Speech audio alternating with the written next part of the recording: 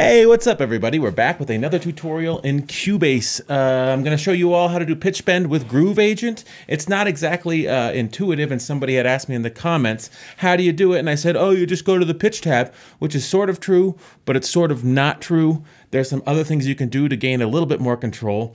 So let's just jump into Cubase right now. As you can see, I have dissolved the MIDI part and I have the snare selected.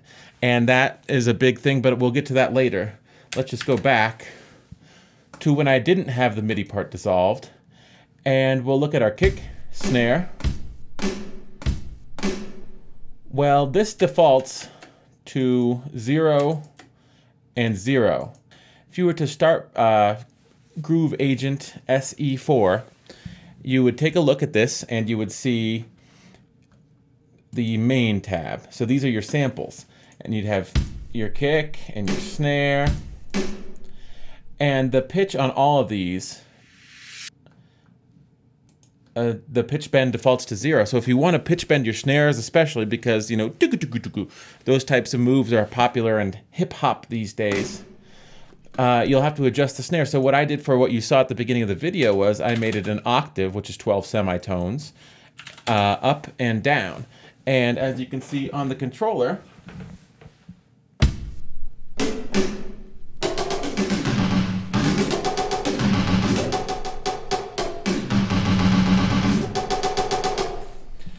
uh, it pitch bends an octave up and down, which is all well and good, except for let's say you wanted to have pitch bend on the kick and you wanted it to go up and down two semitones maybe. So,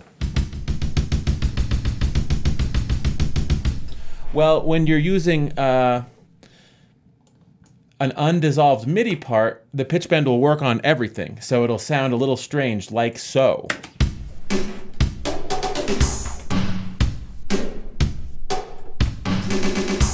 As you can see, the pitch bend is working on the kick at the same time it's working on the snare, which is no bueno. So what we want to do is dissolve the MIDI part, and that's actually pretty easy.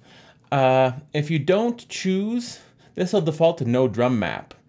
And if you don't choose a drum map, you'll just get bars on a grid here. And when you dissolve it, it'll say C, C sharp, D, F sharp, but if you actually choose the drum map, and Groove Agent is great because you can just create drum map from instrument, you'll have the names sort of easier to sort out. So what you would do is you'd have the drum track selected, you'd go to MIDI, and you would do dissolve part. And you typically do it on pitches for drums because each pitch will be a different drum hit. And you can do that, and you'll see hi-hat closed, snare here in the parts uh, perc 2 hi-hat open, and kick. So then the kick will only work on the kick if you have the kick selected. So if you play,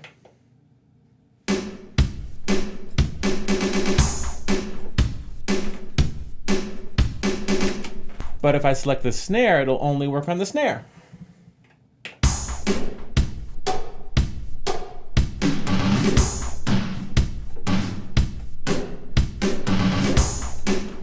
Pretty cool, huh? So that is how you pitch bend in Groove Agent, or it's one way, it's the way that I typically do it.